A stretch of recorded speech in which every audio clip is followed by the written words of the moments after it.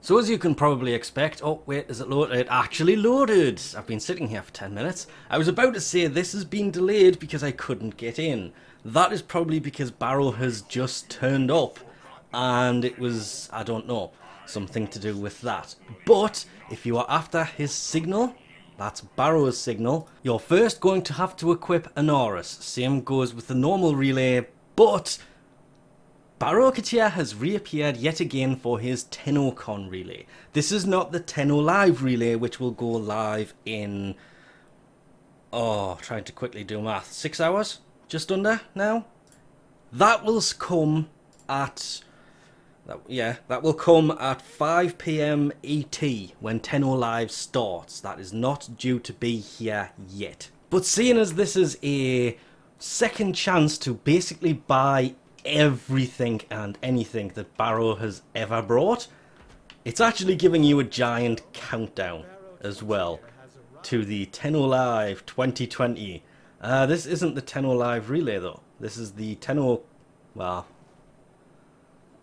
technically it's probably exactly the same relay. We'll have to see how that works out when it comes, but Baro is only accessible if you buy the digital ticket and he has brought everything. Is it still down there? Which includes for the third time because he brought it once, then he brought it last time he came for when TennoCon was supposed to happen on the 11th of July, and he's brought it again for the 1st of August. This this time should be the last time he will ever bring that. Apart from the fact that if it's in his rotation, even if he brings it once, he should bring it with him next year at TennoCon 2021. It's this thing. The only way to get that, which allows you to do a mission with Baro Ki'Teer with you, it's like a defense mission, is to have Anaris equipped. I didn't mention this yesterday when his normal rotation happened because, well, I straight up forgot. But you can actually pick it up. These are tradable, and there's that massive lag again. You can buy it once. Just once. Primed Chamber, however, you can buy that as many times as your Ducats will allow. It's 2,995 Ducats and a million credits. It's not cheap. But he has brought everything with him. And I mean absolutely everything he has ever sold before. That's a K-Drive scroll. Anything that he has sold in the past year. The mod chance booster is also here. That can be pretty useful. The resource boosters, credit boosters, affinity boosters, of course, they are just 3D. The specters, they're there. The tome scenes there. The extraction scenes there. All of the different armor sets are here.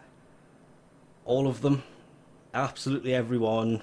One thing I am noticing though, is ephemera is here, but there's something missing the Fae Path of Ephemeras here.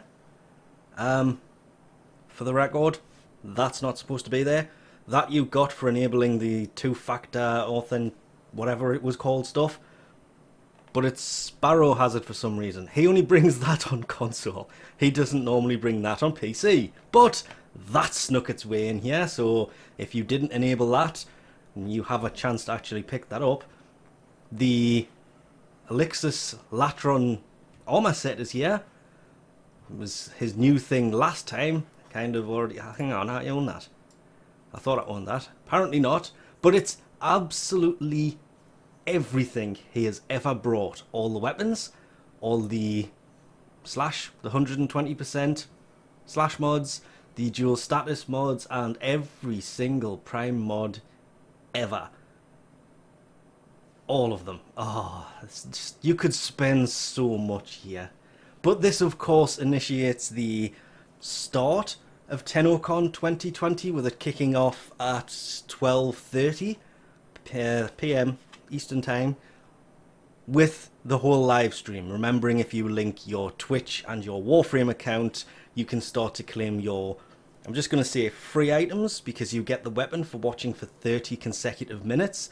Of course, if this is how laggy the game is, maybe it's next to impossible to watch the stream for 30 whole minutes. And I was right, the Lotus Ephemera isn't actually here.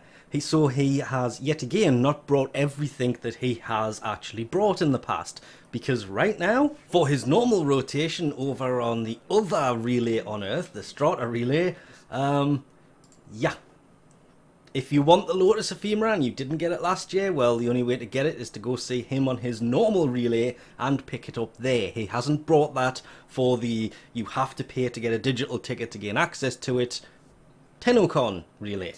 The normal Baro has the Lotus Ephemera. The TennoCon one doesn't. But the TennoCon relay has absolutely everything else. And I think I did pick up the signal from him yesterday. And it is in fact the TennoCon relay, not the Tenno Live relay. So really interested on seeing how that happens at 5pm Eastern Time. But for now, we'll leave this off here. Thanks for watching, and I'll catch you next time.